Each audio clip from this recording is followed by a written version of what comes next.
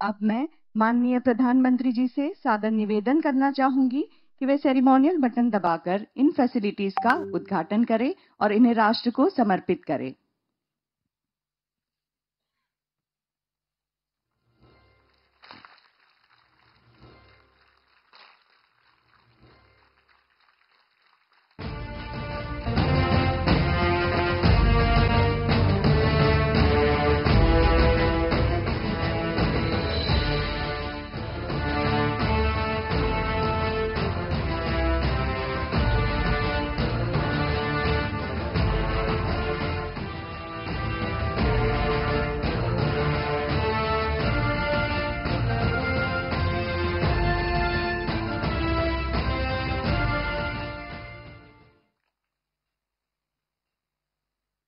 We have the live video from the three facilities which have been just inaugurated.